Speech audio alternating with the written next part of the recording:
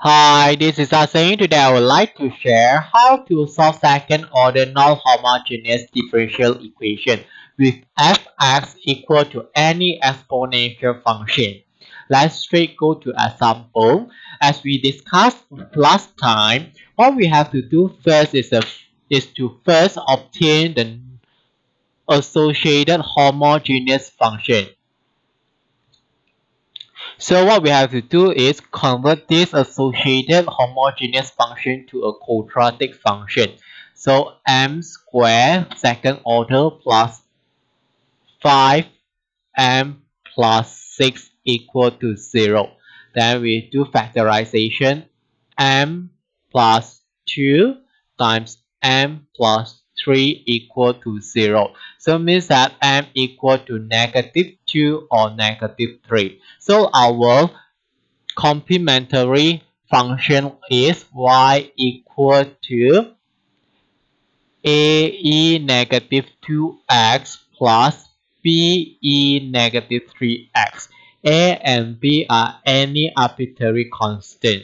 Okay, now what we have to do is solve the remaining part. Okay, first we need to let our particular integral as a e as we can see for x here. So we just write for x.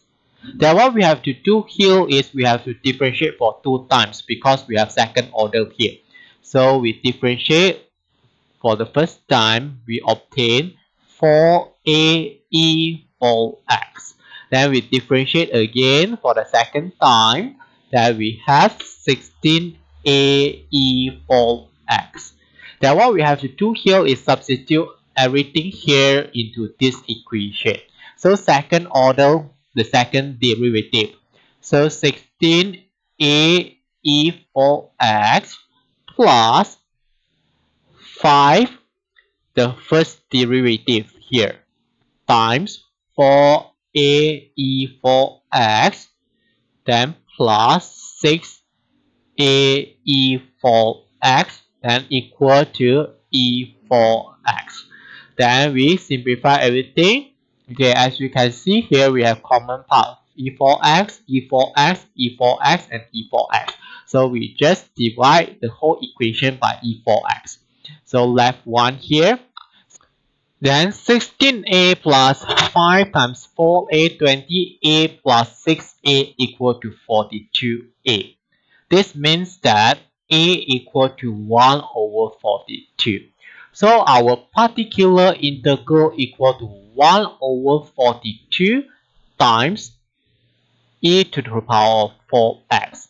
So our general solution for this differential equation equal to y equal to yc plus yp. So we have a e negative 2x plus b e negative 3x plus 1 over 42 e to the power 4x. Okay, then we're done. Now let us just go to the second example with the same associated homogeneous equation. As we can see here, one of the term in the complementary function having a term that is exactly same as the one given in the non-homogeneous equation. So if let's say we let the particular integral as a times e to the power negative 3x, what will happen here is we already created an offsetting effect among this homogeneous equation. So what can we do here is we have to increase a degree for this function. Means that we times a x here. After that, only we differentiate. So we differentiate. Okay, using product rule, dy dx equal to u dv dx plus v du dx. So we have equal to a constant we pick up. So u is x then times dv dx. So differentiate negative 3e negative 3x. Then plus v is e to the power of 3x. Then times du dx. Differentiate x we have 1. Okay, then we simplify. So we times in. So negative 3ax e to the power negative 3x plus a e to the power of negative 3x. Okay, then we differentiate for the second time. So as we can see here, this part is exactly same as this part. So it means that the derivative is this one. So we just copy and paste here. 3a is constant, so we take out 3a. So we have negative 3x e to the power negative 3x plus e to the power negative 3x. Then we differentiate this part, a constant, so remain a. Then differentiate, we have negative 3 e to the power negative 3x. Okay, then we simplify. Negative 3 times negative 3, so positive 9ax e to the power negative 3x. Then minus times plus, so minus 3a e to the power negative 3x. Okay, then minus again negative 3. So we have total of negative 6. Okay, after that we substitute 1, 2, 3 into this equation. So we have second order. So 9ax e to the power negative 3x minus 6a e to the power negative 3x then plus 5. So 5 times of the first derivative times 5. So we have 5 times 13, we have negative 15 ax e to the power negative 3x. Then 5 times a e to the power negative 3x. Then plus 6 times of the first derivative. So 6ax e to the power negative 3x. Then the whole thing equal to 4e to the power 3x. Okay, so what can we do here? We just compare the coefficient. As we can see here, the right side don't have the term x. So means that the coefficient of x is equal to 0. So we just cancel off this. Okay, after that, then we have common term here. So we just can divide both sides by e to the power negative 3x. So leaving 4. Then we have negative 6a plus 5a. So we have negative a equal to a equal to negative 4. So means that our particular integral is equal to negative 4x e to the power negative 3x. We substitute a into this particular integral.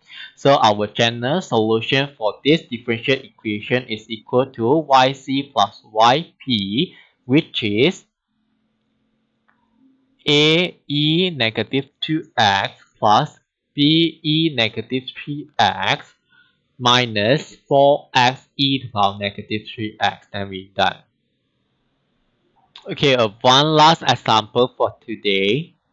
Okay, as usual, we solve the associated homogeneous part first. So m squared plus 4m plus 4 equal to 0. So we factorize as usual. So m plus 2 times m plus 2 equal to 0. This means that we have 2 but equal roots, which is negative 2. So it means that our complementary function is a plus bx times e to the power negative 2x. Or we have a e negative 2x plus bx e to the power negative 2x. Okay, now that let's just do for the particular integral. So we let yp equal to, okay, this is exponential. So a e to the power negative 2x. Okay, as we can see here, we have a common term again. So if let's say we use this one again, equation cannot be solved. So if let's say we time x here, we still have a common term, exactly the same here. So what can we do here is increase another degree. So means that we times x again. So we have x squared here. Okay, then only we differentiate. So yp first derivative we have a constant we take out then we use product rule. So u x squared then dv dx is negative 2e negative 2x then plus v e to power negative 2x and differentiate. Okay then we simplify. We have negative 2a x squared e negative 2x then plus a times 2x we have 2ax then e negative 2x okay then we differentiate again. Okay as we can see here we have common part here. This part is same as this part. Okay so we just copy and paste. So negative 2a is constant so we take out and we copy paste. Negative 2x squared e negative 2x then plus 2x e negative 2x okay then we differentiate the remaining part. Constant we take out 2a okay then we differentiate ux then dv dx is negative 2e negative 2x then plus v e negative 2x differentiate u is 1 okay then we simplify. So negative negative positive. 2 times 2 4 so 4a x squared e negative 2x. Okay, negative 2a times positive 2x. So we have negative 4ax e to the power negative 2x. Then positive 2a times negative 2x. So it's negative 4ax. Okay, negative 4ax minus 4ax. So we have 8ax. Okay, then positive 2a times 1. So we have 2a e negative 2x. Okay, after that we substitute everything into the equation. So we have second order first. So 4ax squared e negative 2x minus 8ax e to the power negative 2x plus 2ae negative 2x then plus 4 times of first derivative plus 4 times of the first derivative. So we have negative 2ax squared e negative 2x plus 2ax e negative 2x. Okay, then plus 4 times of the particular integral. Ax squared e negative 2x and this is equal to e negative 2x okay so what can we do here is we just compare. Okay compare both sides.